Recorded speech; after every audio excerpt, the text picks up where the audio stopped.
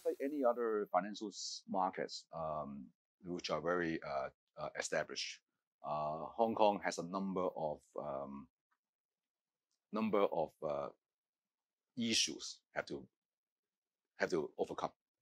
Uh, I'll give you a few. Number one, customer inertia.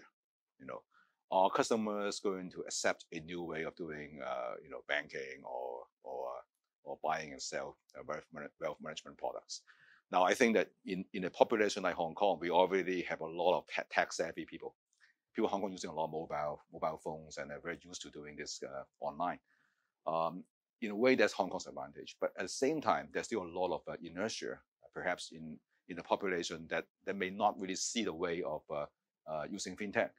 Um, but that's not Hong Kong's only. You know, Hong Kong's not alone having that problem. Many many many markets, U.S., uh, UK, similar problems. You know, all the customers don't want to use the you know the new technology, and that's okay. Uh, but in a way, you, you can call it a, a, a weak link, but I also see opportunity because it's how to turn you know turn turn this around, uh, and that's going to matter to the to the rest of the world.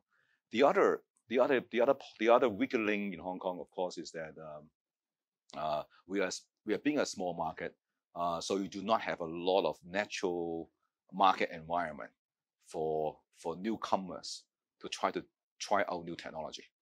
You know, unlike country, uh, you know, markets like China, uh, there, you know, you, you, because of the of the huge population, uh, uh, it's easy to imagine, and, and we actually see that you know new players, new technology companies coming up, building new ecosystem outside the banking system, and they can provide you know financial services.